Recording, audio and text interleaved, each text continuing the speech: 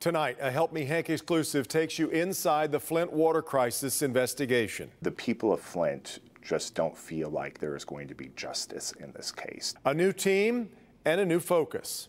Their um, pleas have been ignored or overlooked uh, for far too long. Michigan's Attorney General and the Flint Mayor speaking out about the case that everyone has been watching for so long. People of Flint were stunned when it was announced the Flint investigation would be heading in an entirely new direction with new leadership. Now, as new work gets underway, we're hearing from those closest to the case. Here's our consumer investigator, Hank Winchester. If there's one thing I know for sure, the people of Flint want and deserve justice. Michigan's Attorney General tells me she is focused on making sure everyone who played a role in that nightmare is held accountable. Um, the people of Flint just don't feel like there is going to be justice in this case. Do you think uh, eventually there will be?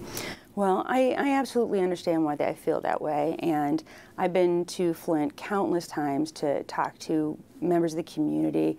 Um, I think no one can say that they haven't gotten a raw deal. Michigan AG Dana Nessel says she is focused on getting justice for Flint, but the stunning move made earlier this year took many by surprise. The Flint is not held accountable. I don't know. I honestly can't comprehend it. Well, the question is, is when, where, and how long.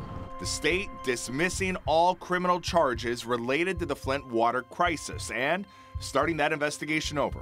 Why? New evidence surfaced, and there was also concern about some of the plea deals. From what I saw, yeah, there was a lot of time that was wasted. Some believe this is a move by Democrats to take control of this case and ultimately go after former Republican Governor Rick Snyder. Do you think Governor Snyder should be charged for his role in Flint? Well, again, I don't have the information that our criminal team has. They now have some 20 million documents, as I understand it, and dozens and dozens of devices that they didn't formally have before they executed a lot of search warrants that had never been executed.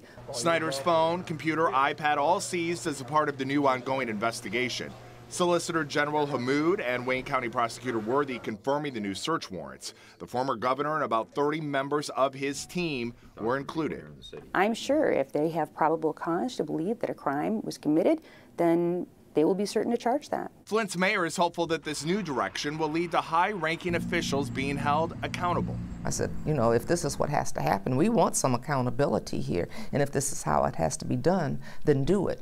But it has to be explained to the people in a way that makes sense. And I think the way the headlines read were it yeah. was very misleading. And while Flint's mayor says she supports the attorney general and prosecutor Worthy, she was disappointed when this news broke at first, and the people of Flint were left in the dark.